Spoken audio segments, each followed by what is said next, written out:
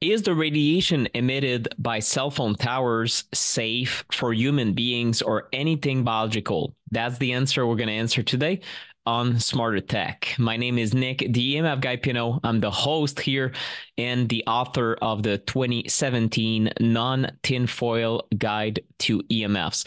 That's a question I answered in my guide when I originally published it, but today I'm going to review the latest science on the topic and show you why most of what you see online that is dismissive towards these potential hazard is well, how can I put it? Completely wrong. So let's dive into my research here. And I prepared a few slides. We're going to share this with you right here. So the first thing I want to show you is just a, a comment I saw on Instagram. Uh, total misinformation, and of course, it was on a video that talks about the dangers of something called radio frequency radiation, which is the type of radiation emitted by your cell phone, the cell phone you might be using to watch this very video on, or a laptop, or even a cell phone tower that connects uh, your cell phone to the cellular network. And the person here says total misinformation iPhones may affect mental health, but their lower frequency or longer wavelengths means they cannot directly damage DNA and cause cancer. So it's nothing against Jeffrey. It could be anyone really. And most people think that. And I ask myself, okay, what why do most people still think that? That there's no link with cancer, there's no link with uh, DNA damage or any of these problems. Well, if you look at the American Cancer Society and you look at what are they saying on RF, which is radio frequency waves or radio frequency radiation?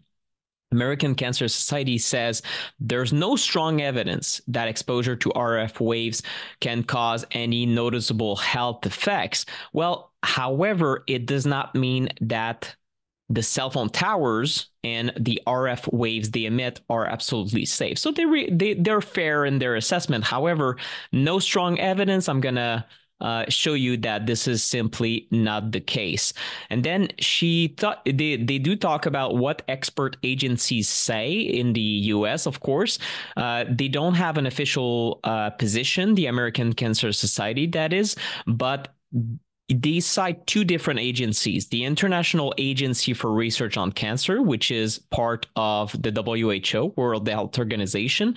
I'm not a big fan of uh, World Health Organization because of their conflict of interest in many things. However, IARC has been doing, a, let's say, a relatively okay job uh, looking at different uh, carcinogens or potential carcinogens.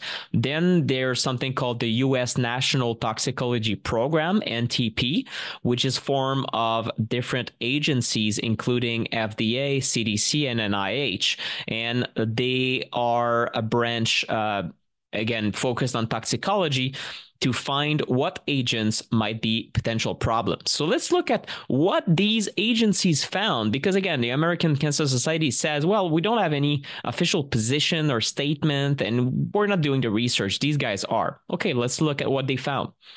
IARC, International Agency for Research on Cancer, May 31st, 2011. That's uh, almost 15 years ago at this point they found that radio frequency electromagnetic fields, such as the ones emitted by cell towers, are possibly carcinogenic to humans. Group 2B.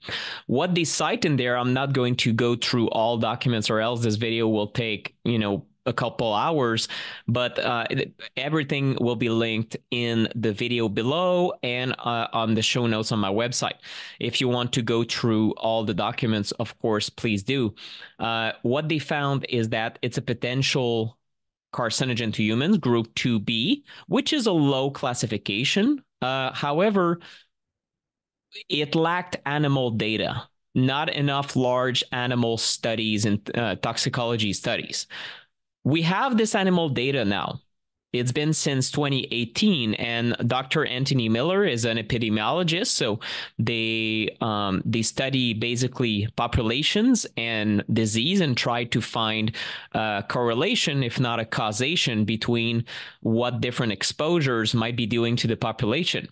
Cancer epidemiology update following the 2011 decision. So what they say here, these scientists, uh, Miller and colleagues, they say that when we consider recent animal experimental evidence, I'm going to show you what they're talking about. The recent studies strengthen and support the conclusion that RFR, that's radio frequency radiation, should be categorized as IARC Group 1. So, what they say in other words, is that this classification in 2011 should now be upgraded or reviewed again to group one. That means that radio frequency radiation emitted by cell phones or cell towers, for that matter, is should be reclassified next to asbestos and tobacco as a definite carcinogen. IARC has been asked again for a second time to review the risk cancer from RF. This is microwave news, excellent journalism on EMFs for decades at this point. And basically, they say, well, you know, is the second time that radio frequency radiation is one of about 100 agents listed at high priority by IARC, here, a, international agency for research on cancer, for evaluation over the next five years. It's going to take a long time. And we simply don't know why the reevaluation of this agent has never been done it's very vague and uh, maybe we'll learn a little bit more about it some talk about potential uh, industry involvement in making sure that we're not reviewing the RF cancer risk. This is speculation on my part, but we know that the industry has always uh, a lot of influence on various agencies, and that's uh, regulatory capture for you and what it does to this world. Let's go back in 1999 because we talked here about the US National Toxicology Program, and part of it is uh, from the Food and Drug Administration. Well, the Food and Drug Administration nominated the agent called radiofrequency radiation emissions of wireless communication devices in 1999. What does this mean? Basically, they nominated this agent so that the National Toxicology Program can study its effects. And what they said, you can go through the entire document. Why why did they say we need to study it? Well, they said a couple of things that of course they said it is not scientifically possible to guarantee that those non-thermal levels of microwave radiation what do they mean it, they mean low levels where it's not heating your tissue but it's not guaranteed it will not cause long-term adverse effects. And you'll see that our safety standards that are supposed to be protective are based on short-term effects but now we're talking about long-term adverse effects. And this is in 1999 the FDA had prepared documentation around 1995 or even 94 about this agent and said mm, now we absolutely need to urgently study it it took a couple of years here. a couple of years later, in 2018. I'm just kidding. It's two decades later. We have the National Toxicology Program with the final animal study and the final results clear evidence of cancer. So basically, what happened is that they studied it for several years on uh, studied the effects of radio frequency radiation long-term exposure on rats and mice and basically who the person who led the design of the ntp study uh, and has been a scientist at the ntp for 28 years said an important lesson should be learned is that we can no longer assume any current or future wireless technology is safe.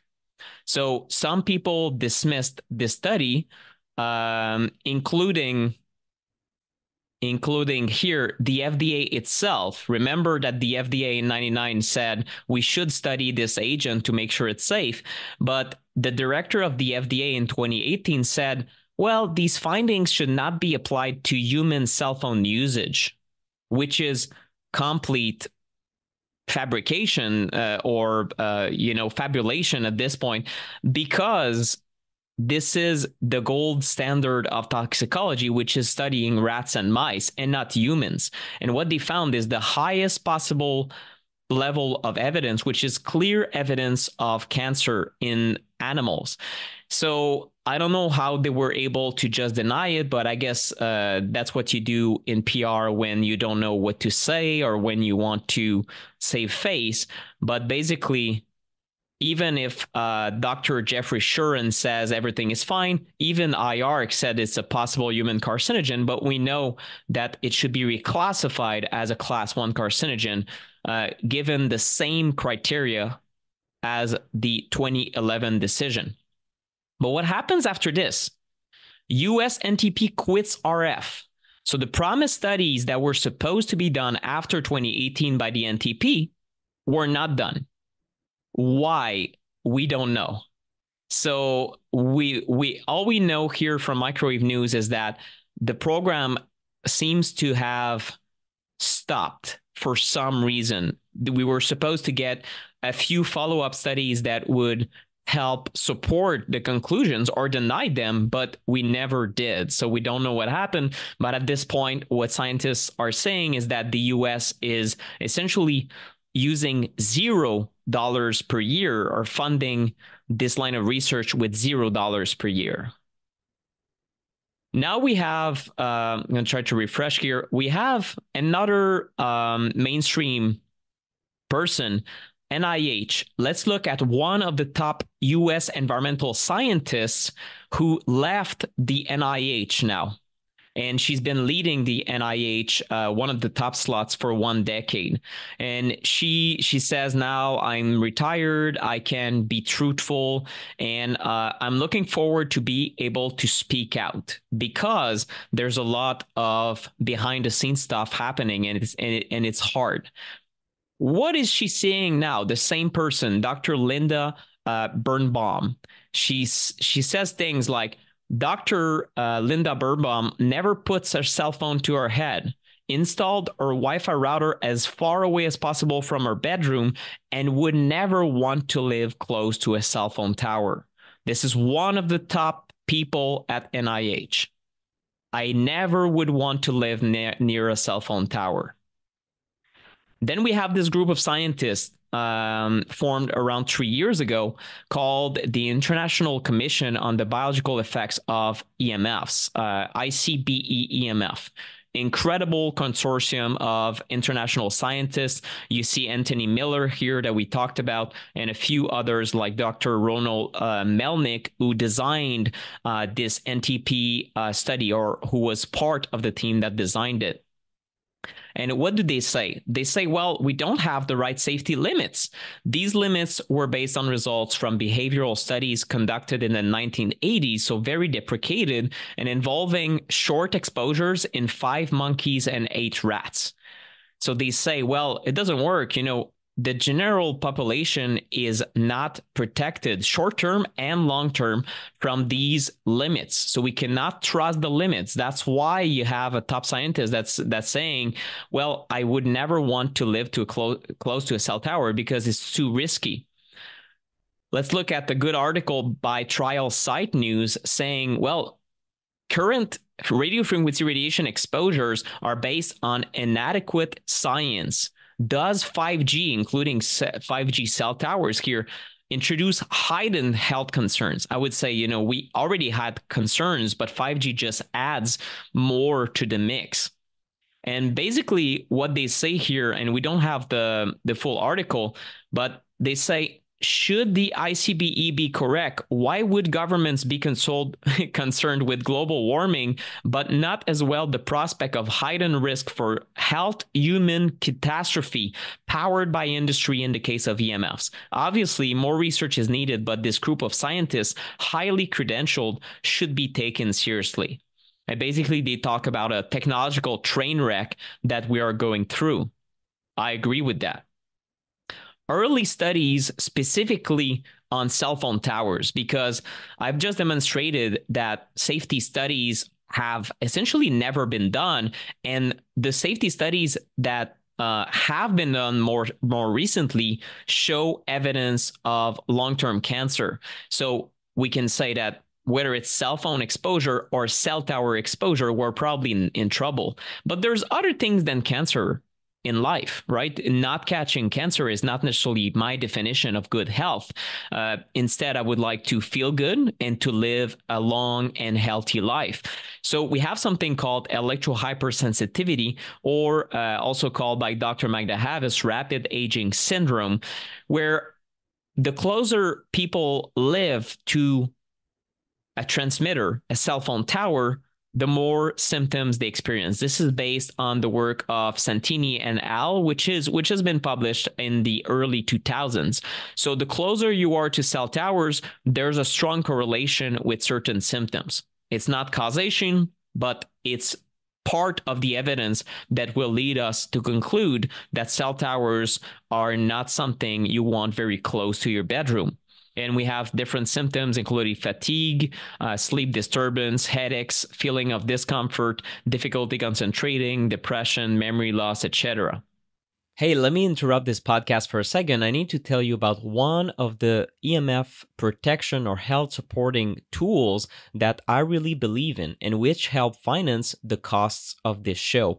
One of the most common questions I've received in the last few years of this work as the EMF guy is what EMF meter should I buy? Out of all these options on the market. There are a lot of good meters out there with prices ranging from a few hundred dollars to a few thousands, but the number one meter that I think complete beginners should consider using is called the SEM ProTech 33. This is the exact meter Brian Hoyer and I recommend to our members inside the electropollution fix course. This meter can measure three different types of EMFs at the same time, which is a very rare feature. The readings are very accurate for the price you pay, which is uh, uh, in the range of um, almost around $200. So there's also a sound feature for the wireless setting and also a triple axis magnetic field reader, which tells you that the magnetic field readings will be precise. So if you want to check out the SEM ProTech 33, simply visit theemfguy.com slash shop. Okay, now back to the podcast. Let's look at a review. This is old science, if we want, from over two decades ago. This is more recent, 2022, review by Balmori. Evidence for a health risk by RF, radiofrequency radiation, on humans living around mobile phone base stations, another word for cell phone towers. He found that all the studies, the basically the studies that did not meet, uh, meet strict conditions have uh, provided supplementary evidence, but they were not included. So, considering all the, the studies reviewed globally, only 38 have been published. So, that's not nearly enough. But what we have so far, we have 74% showing effects for radio frequency sickness, which is similar as what we talked about here, electrohypersensitivity or EMF related symptoms. And we have 77% uh, for cancer and 75% of them for biochemical parameters. Interesting is the conclusion by um, Alfonso Balmori here, which is a, a stellar scientist.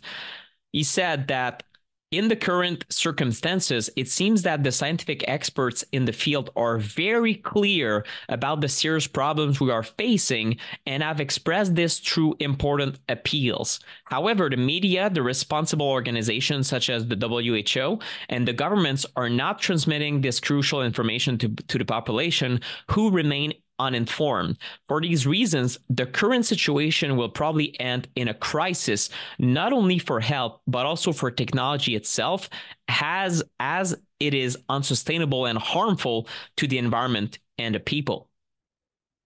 Then we have even more evidence a few weeks before I researched for this episode. We have senior scientists in Europe reporting that people living near cell phone towers show significant changes in their genetic makeup. Uh, these people are highly credentialed, and um, the study is small but provocative. So we still have ongoing um, proof that is being, um, or evidence that is being put forward by scientists. So these uh, scientists are saying that you know the closer you are to cell phone towers the more you have cumulative low level effects and not just cancer but dna damage and that can lead to basically anything bad when it comes to your health. We have another scientist that has been publishing quite a lot on this, and I'm almost I'm almost done here. So I'll I'll go through it quickly, but just talking about one scientist because it's important for me. Uh, let me let me just uh, close the video for a second and stop sharing. It's important for me to provide relatively mainstream sources. And the reason I do this is that a lot of skeptics are watching these videos, or maybe you want to share them with family and friends. And uh, there is information on the internet and from random people, me included. I'm just a citizen journalist, you know, showing you some of the sources I look at and letting you uh, make up your own mind here. But it's important for me to show you that certain scientists that are considered relatively mainstream in toxicology uh, have emitted these these same um, concerns towards EMFs. It's not just random internet information. It's in fact relatively uh, mainstream science at this point. Prof. Hardell is uh, an MD PhD from Sweden, specialist in oncology, cancer epidemiologist at uh, Örebro University. I'm probably butchering this. Long career. He identified uh, the cancer classification as uh, TCDD, PCB, the herbicide glyphosate, um, and uh, I know there's also Agent Orange, and then radio frequency fields. So he's also publishing when it comes to EMFs. He said this in uh, 2004, I think. Hold on, let me. There you go. 2004, he said, Is there historical evidence for the precautionary principle in cancer prevention? He said this Well, the authorities are not taking EMF seriously. So this team um, has been attacked by industry over different studies, but eventually it were, he was able to uh, have this uh, TCDD classified as agent uh, a human carcinogen group one. So his work contributed to the right the righteous uh, classification of uh, a carcinogen as a carcinogen. That's very important. But now he says in 2004, two decades ago, that the lessons of history seem to go unheeded as exemplified by the by the case of cellular phones. So two decades ago he was already saying there's so much industry pressure that our warnings about cancer prevention are not being heard. And so far they have barely been heard because two decades later Hardell with journalist Mona Nilsson has been uh, publishing a series of case reports. There's eight of them, if I recall correctly, but here's a summary of seven of them. When it comes to the microwave syndrome, again, all these terms are similar electrosensitivity, microwave syndrome. You had uh, Balmori that talked about uh, here the radio frequency uh, sickness, which is all similar. EMF, we can talk about EMF related symptoms. So he says that he has been studying people who, in all cases, develop the microwave syndrome. So, a bunch of symptoms of ill health within a short time after being exposed to 5G base stations. They took measurements. In all cases, the high radio frequency radiation from 4G or 5G antennas was measured and the radiation reached 2.5 million to 3 million microwatts per square meter. It's still within the safety limits, but they argue that it's too much because you you had different symptoms such as difficulty sleeping, headache, fatigue, irritability, concentration problem, uh, memory problem, emotional distress, depression, anxiety, and it kind of reminds me that study we talked about from two decades ago. If I can find it here, these are similar symptoms and we know that these symptoms are increasing overall might not be solely caused by radio frequency radiation however it's one of the environmental stressors that is the most often ignored so these case studies are only reinforcing the idea that if you install 5G or 4G or any generation of cell tower too close to people, they don't feel good. Then we have Dr. Kent Chamberlin, who's part of this ICBE EMF group I told you about. He's a PhD, Ohio uh, University. He's a past chair and professor emeritus, um, Department of Electrical Computer Engineering, uh, University of uh, New Hampshire, and he served on a commission on 5G in 2019 and 2020. And this commission was convened to evaluate how do we respond to the rollout of 5G and what risks are there. What he said in uh, this document about his final report in 2021, he said we should be at least 500 meters from residences. And uh, he cited some examples of uh, different schools that are that have a certain setback uh, where there's a minimum distance between a certain tower and schools he said about 500 meters which is 1500 feet should be uh, safer preposition than living right next to it. And there are some examples of countries that have already uh, push this. In 2012, that's over a decade ago at this point, you had a court ruling from the Rajasthan High Court uh, in uh, India, which is the most, um, uh, one of the largest provinces in India. And they said that now the towers should be shifted at least 500 meters from jails. And it was to uh, just citing harmful electromagnetic radiation. But also, there there were there there were recommendations or mandates on placing cell phone towers too close to playgrounds, hospitals, schools, and they included jails as well. And maybe there were specific concerns around cancer in cancers in jail. But overall, it looks like 1,500 feet or 500 meters from a cell phone tower might be a safer um, way to uh, be exposed to a, a, cell phone tower. We don't know at this point what is the quote unquote safe distance because all we know is that the current safety standards are not protecting us. So we don't know what the safe dose of this radiation is. If you want to look at how close you might live to a cell phone tower, you can go to antennasearch.com and enter your address, and you're going to see antennas, towers. It gets a little bit scary. Uh, I, I, won't, I won't lie. But at the same time, if you want to be informed, go go with it. Uh, there's uh, the possibility if you find yourself too close to a cell phone tower there are various shielding strategies that can be applied. Some of them i addressed on this podcast before but they're more advanced and normally will require the help of a building biologist or an emf consultant. Uh, one that is my immediate colleague co-author on many courses and different things uh, i have been publishing in the last years is brian hoyer and his team from Shielded Healing.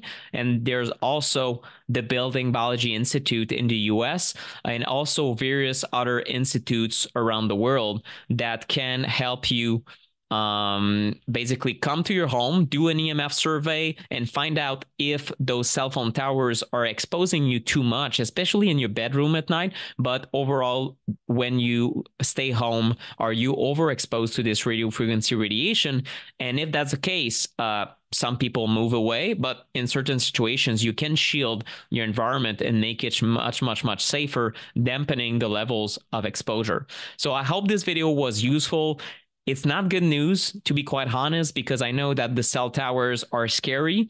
There are a few things we can do about cell towers. We can become an activist for safer technologies, but that's a long term game. We can move away in the countryside or not be too close to the towers. Very difficult to achieve for a lot of people. We can shield against the cell tower radiation, uh, starting by also cleaning up your own home making sure that you turn off Wi-Fi at night or discourage the use of Wi-Fi, turn off Wi-Fi inside your router and go wired. That these are all things I've been saying in my book, in my courses, and on my uh, YouTube channel slash podcast for years and I'll still continue to educate you about the many things you can control when it comes to these exposures. When it comes to radio frequency radiation from cell towers, it's a little bit trickier to mitigate against, but some things can still be done. So please share this video as much as you can. I hope it was useful and I'll see you in the next episode of Smarter Tech.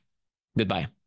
In case this wasn't already obvious, the information provided in this podcast is not intended to replace medical advice. We always recommend that you review this information with a functional medicine practitioner or environmental medicine doctor who is up to date with the latest information on the dangers of EMFs and the best practices around electro hypersensitivity, just to name these two things. And if you want to support my work, please consider sharing this episode with people you care about. You can also invest in my book, courses, or recommended products found at theemfguy.com. Thank you.